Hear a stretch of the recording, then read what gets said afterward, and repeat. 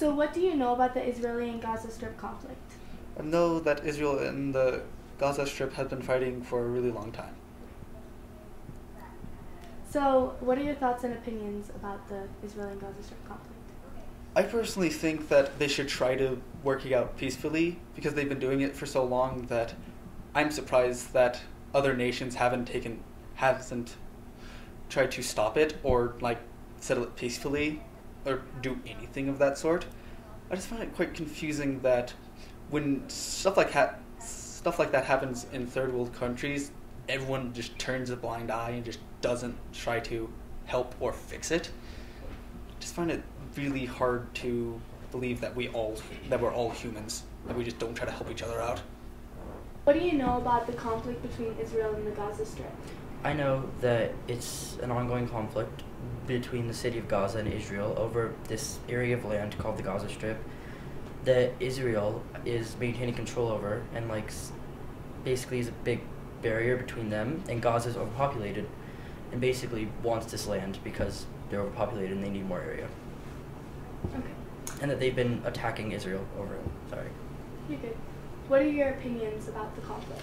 I think the attacks are unwarranted and they're considered war crimes by the UN and it's considered terrorism by the UN because it's like just killing people it doesn't care if it's if they're civilians or military targets it's just shooting basically blindly and that's unwarranted and unnecessary What do you know about the Israeli and the Gaza Strip conflict? Well, what I know is that the Gaza and the Isra- Israel have been fighting over this piece of land for many years, and that they've both been shooting just blindly at people.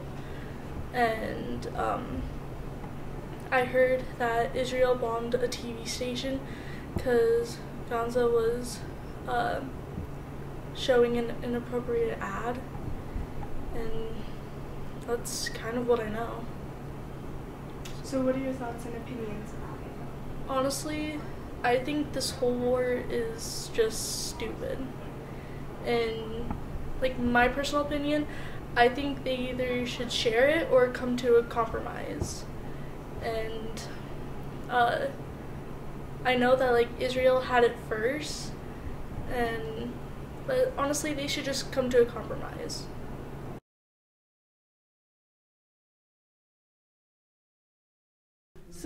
Know about the Israeli and Gaza Strip conflict?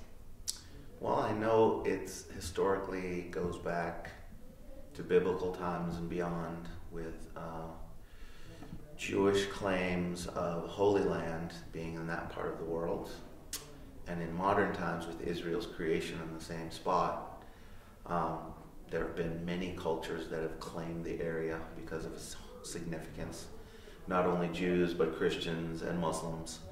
So it's a place that has been, um, it has been a land of conflict for many hundreds or thousands of years. In the most recent uh, events with uh, Israel and occupied territories, in, in terms of uh, the view of other cultures or buffer zones or buffer states in the Israeli um, mindset, is that um, Israel claims some territory as its own, and then has claims to others that are you know that aren't agreed upon by everyone.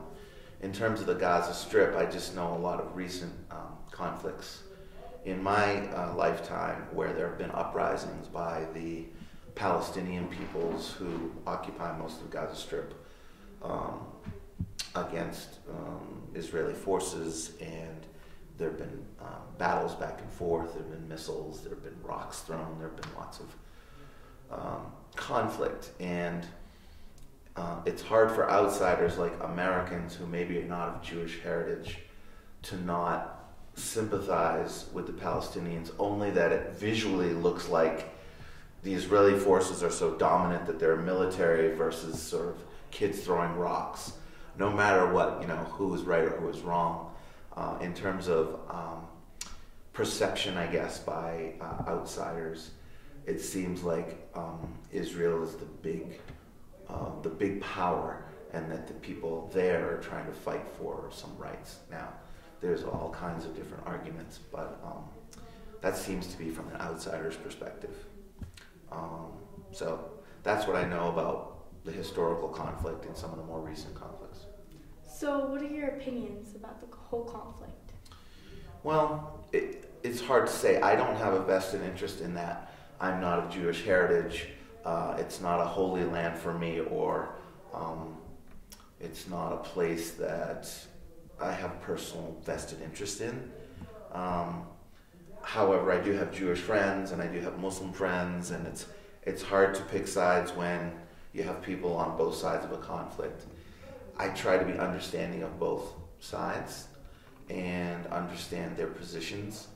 Um, I know the United States position has been trying to create peace through my lifetime, and there have been some times where peace has been um, uh, peace has happened for a while, and then the conflict flares up again.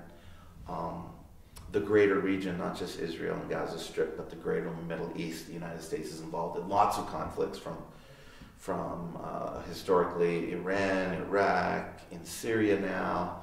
So it, it is a, a, hot zone with lots of, uh, at least from the United States standpoint, interests. And sometimes they support the government, sometimes they support the rebel, sometimes they supported the government, then moved to the rebels. So the United States depends on the time period, um, believes, you know, who it needs to support.